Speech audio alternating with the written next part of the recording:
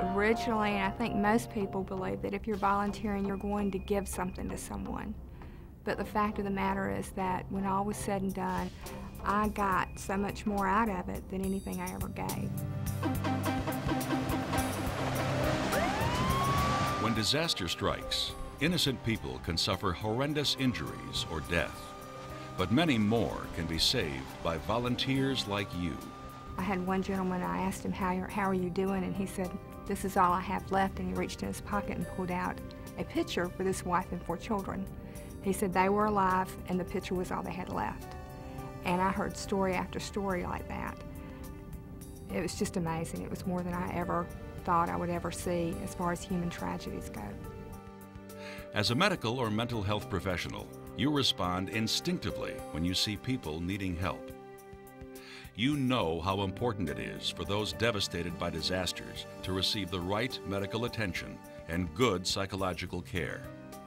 That was why you became a healthcare professional in the first place to save lives and alleviate suffering. It's an opportunity for me to grow and it's an opportunity for me to give back to the communities that I, I live and work in and to be with my neighbors.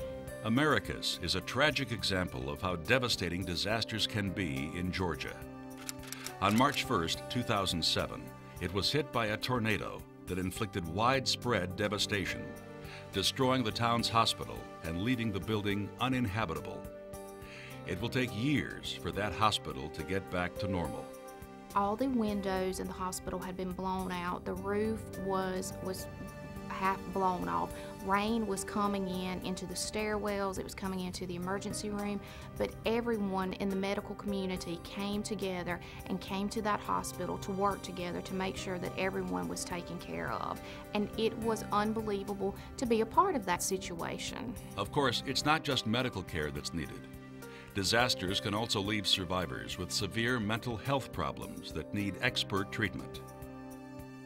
Whenever you see people suffering, especially the young or the elderly, your natural instinct as a health professional is to volunteer. And now, the Georgia Division of Public Health has made it much easier for you to offer your services to disaster victims in Georgia, thanks to the State Emergency Registry of Volunteers, or as we call it, Serve Georgia.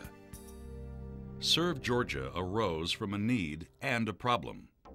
The need was for a healthcare workforce that could be mobilized to respond immediately to mass casualty events. Disasters, by definition, mean an event that overwhelms a community's ability to respond.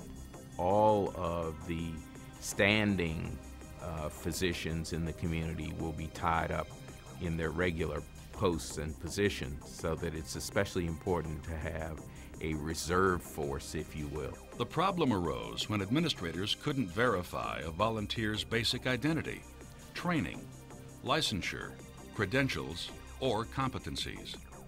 This meant that many volunteers could not be used to the full extent of their expertise.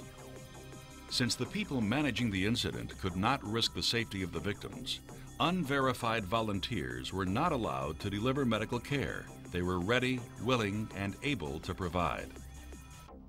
But that's no longer the case, thanks to the Serve Georgia database.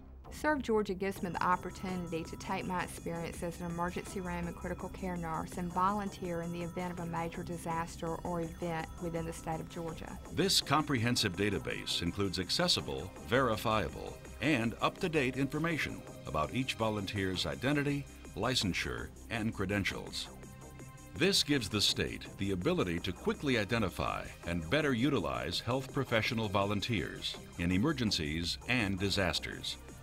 The Georgia Division of Public Health needs as many medical and mental health care volunteers as it can get.